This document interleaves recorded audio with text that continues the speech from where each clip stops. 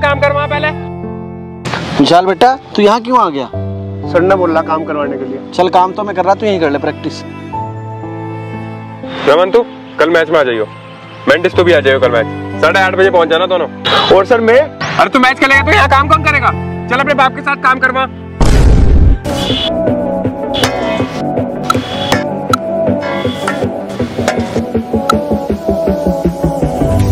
अरे sir sir वो मजदूर का बेटा नहीं था क्या? उसका रणजी ट्रॉफी में नाम आ गया अखबारों में छाया पड़ा है देखो।